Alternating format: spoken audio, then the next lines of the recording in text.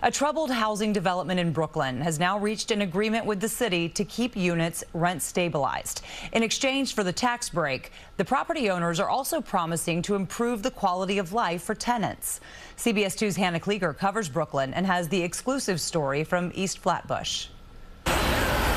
Flatbush Gardens has 59 buildings, 2,500 units, and 10,000 residents. It's one of the largest housing developments in Brooklyn. For years, tenants complained of deteriorating conditions. Growing up, it was pretty rough. Lifelong resident Shawnee Samuels is now a community ambassador working to help her neighbors. Now I have double stake, not only as an employee, but as a resident. JJ Bistricer of Clipper Realty, which owns the property, says the company intends to turn things around. We are making every effort and respond to everything in a timely manner so that we can improve that reputation amongst the residents. This effort began last summer when the company reached an agreement with the city to get a $191 million tax break in exchange for several conditions. The development must remain affordable. It must invest around $27 million in capital improvements and 250 units must be set aside for the homeless. Nadine Akinyemi is the CEO of Bridging Access to Care, a social services nonprofit brought in by Clipper to connect residents to resources resources. This is really an innovative model, never been done before, as far as I know, with a